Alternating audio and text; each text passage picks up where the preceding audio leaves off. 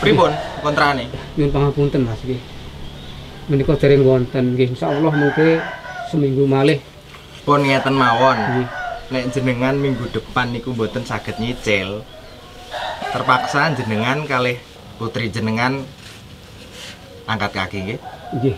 Nyuwun pangapunten Mas nggih. Nggih insyaallah Mas mengke kula badhe usaha Nggih. mboten ketentas pundi caranipun nggih. Nggih pun, nek ngoten. Nggih nggih monggo Mas matur nuwun.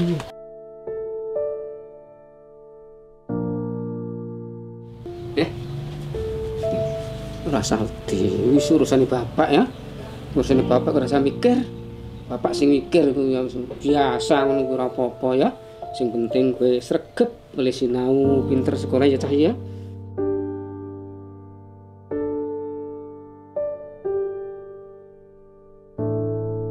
Hidup tak selamanya indah.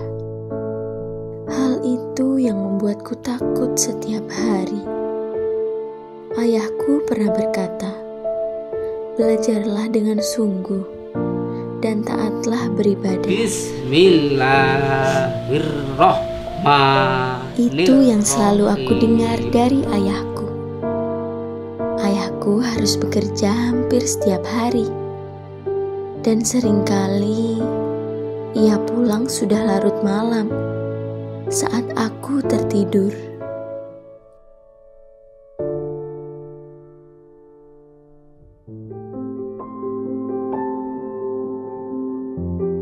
Ini adalah hari terakhir ujianku. Hari di mana aku menanti masa depan. Hari di mana ayahku akan sangat bangga padaku.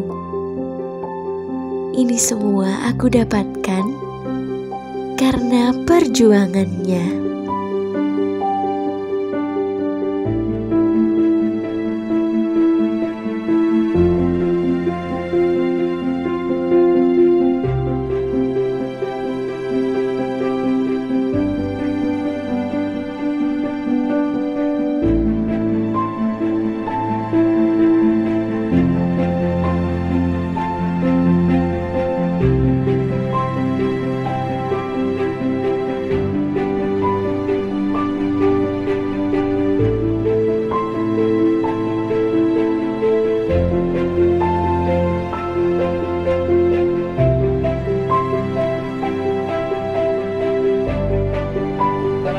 Nggih.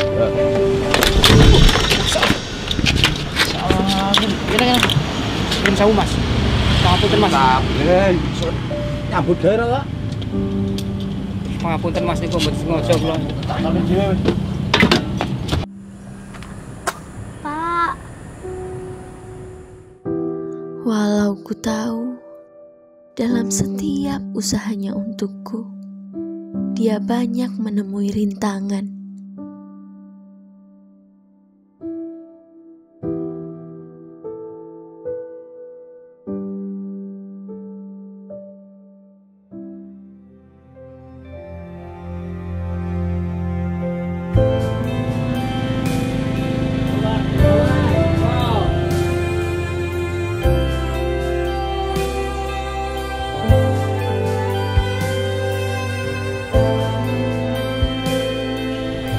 Pak, ulah berhasil, Pak. Ya, alhamdulillah, Dok. Ya.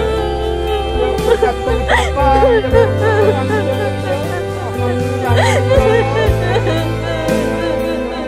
Terkadang hari yang indah bukanlah hari di mana semuanya terlihat sempurna. Hari yang indah bagiku adalah hari yang indah juga bagi ayahku. Ayah adalah seorang yang luar biasa, menyembunyikan setiap kesusahannya demi buah hatinya.